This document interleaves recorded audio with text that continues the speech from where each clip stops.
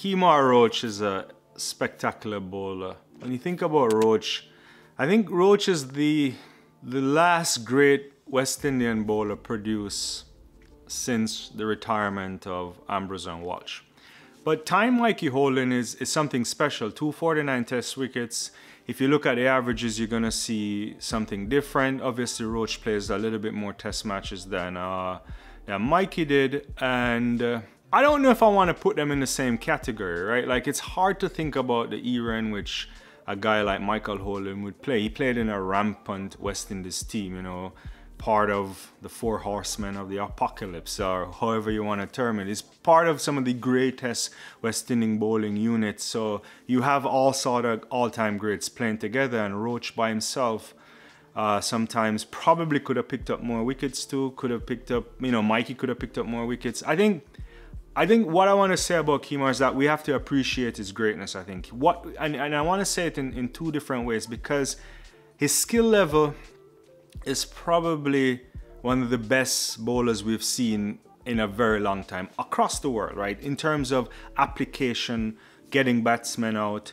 Because one of the things that Roach had early on was a lot of pace. Then he went through some injuries and, you know, he had a little bit of a hard time and he came back not as fast as he used to be. But look, he, he can get wickets. You need wickets, you need Kemar Roach. And he's. He's heading towards uh, Big Bird Garner soon.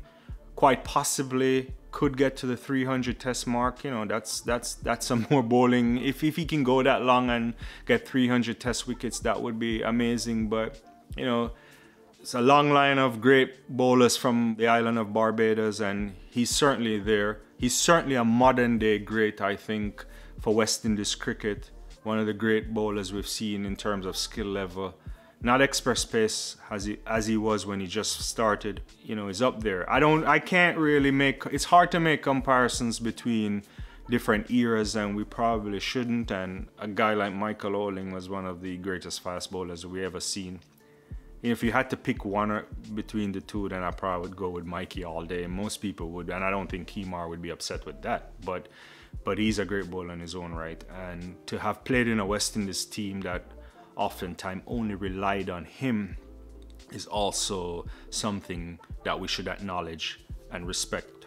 So Roach achievement of 249 is going into the next test match against Bangladesh and certainly gonna surpass Mikey and it's quite possibly he could surpass Joel Garner before the series is over. So